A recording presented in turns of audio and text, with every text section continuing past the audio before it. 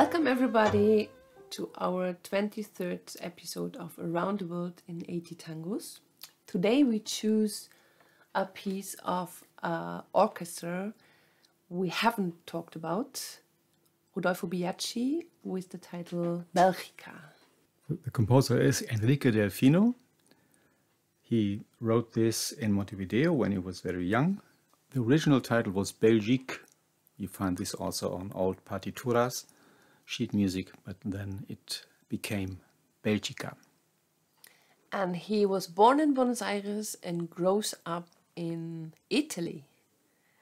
Yes, his family went from Buenos Aires to Italy, where he spent his youth. Then they went back to Montevideo, on the other side of the Rio de la Plata. And then 1919 they went back to Buenos Aires. Belgica, what a strange title. Is this because of the country, Belgium? Many of them had ancestors from Europe, or they even are born in Europe. And so they were really concerned about the First World War. As you know, most of the warfare happened in, in Northern Europe, in Belgium, France, and Holland. And so horrible things happened there. And so uh, Delfino dedicated this song to the Belgian Red Cross. Ah, okay. And then he met uh, Osvaldo Fresedo and he took him to the tour to the US. Osvaldo Fresedo formed an orchestra to make recordings in the US. The name of the orchestra was Orquesta Típica Select. We already talked about the, yes. this tour. Uh, Delfino then became a, a, very prominent figure in the tango community. He was a piano player. He wrote music. He wrote also lyrics. And after his tour with Fresedo, he uh, went to Europe. He went to Madrid, to Paris, to London, to Berlin, and to many cities in Italy. Back in Buenos Aires, he wrote tangos. He worked for the theater and for the movies. So then let's come to Rodolfo Biagi. He started his career very early. He left school very young and then they sent him to an academia to learn an instrument. Yes, his, his parents wanted to wanted him, him to learn the violin, and while on this academia, he was in every single moment when he was free, he went to a piano whenever he could find one and played some chords or arpeggios or whatever. And so his professor, uh, in the end, told him, "Stop violin. You are a piano player," and that was it. Thanks God.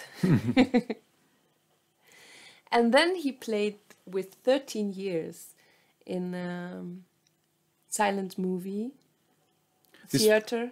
This was the beginning of his professional career, so he worked in a silent movie, right? And um, after he did this two years, one day Juan Maglio, the famous Juan Pacho Maglio, appeared in this movie theater. Somebody maybe did recommend this young lad to him. And he approached him and said to him, What do you say? Will you join me to go to the Nacional? Oh la la. And this was boom, because Nacional was Corrientes, the place to go, where all the prominent figures in tango met, performed, or just listened. So it was the place to go. And then after Nacional, he came to famous Café Dominguez and played in Café Dominguez. We yes. already talked about this. We are really proud of this. so he joined the, the orchestra of Juan Maglio alongside with Elvino Vardaro. And after their debut in Nacional, they went to Café Dominguez, that's right. And there he met Carlos Gardel. And then Carlos Gardel thought, oh dear, this is such a nice piano player. I have to ask him to play with me. And then. Yeah, he played with Gardel some recordings. And um, there's a little story that he asked for a um, cash advance and when it came to payment, after the recordings, he was willing to pay back, according to an interview I read. And then Carlos was present and he said, It's okay, just keep the money, you deserve it. So he could get the whole fee and he could keep the cash advance. And then Carlos Gardel wanted to take him to Spain. He asked Biagi, but Biagi felt his heart belongs to Buenos Aires. So he stayed, he refused.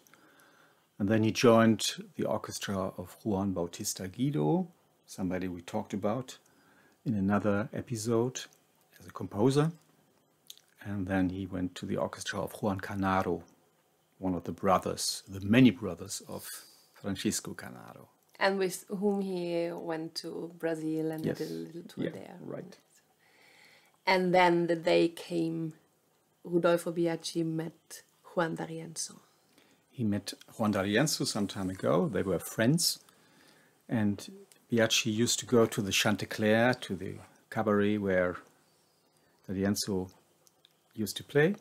And the piano player then was Lidio Fasoli, and he was a bit ill and often couldn't come to the performance. And one day D'Arienzo was just fed up and asked Biagi if he wanted to replace Fasoli. And of course he accepted. Yeah, and then a fantastic cooperation started, and nobody wants to miss these 71 recordings of this period. D'Arienzo Biagi, Less than three years they played together. less than three years, but very prolific. And then the day came Yeah, when then, then, they had to go different ways. then there was this ego clash. Um, Biagi became a very prominent part of this orchestra, and his feature number was Lágrimas y Sonrisas, a waltz, and there he had a solo. And one day, while they performed it, D'Arienzo went away uh, for a break in the middle of the number. And when he came back, the crowd was cheering. They were really so amazed and so um, that uh, D'Arienzo asked his fellow musicians, "What's going on here?" And then they told him. And then he went to Biagi and said, "Lad, it was good, but don't do it again." And I think this was the end of this cooperation. So there is only one star, and this was D'Arienzo.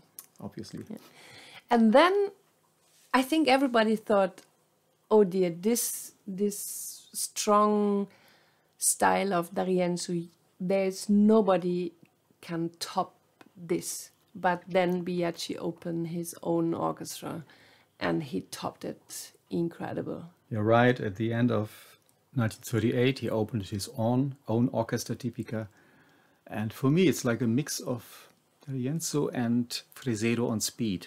So he went even tougher, and his emphasis is really on the beat, on the offbeat. He syncopates the syncopa, so he does really Weird stuff. weird stuff.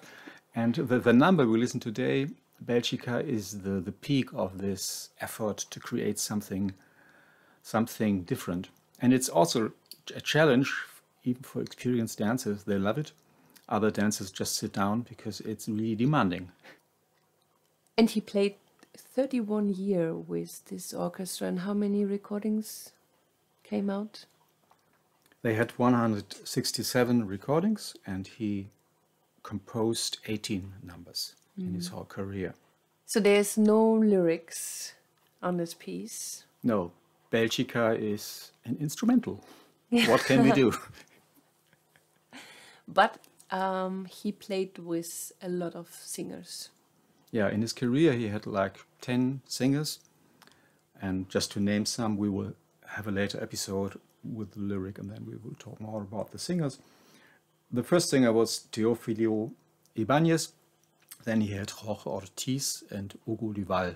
This was the last singer of his orchestra. And there's this little story in the end.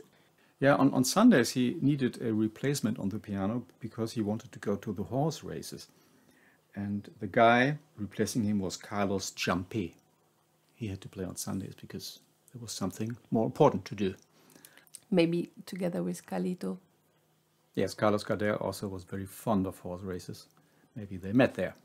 And with this little story, we say goodbye from the 23rd episode of Around the World in 80 Tangos. Thank you for traveling with us through tangos we love.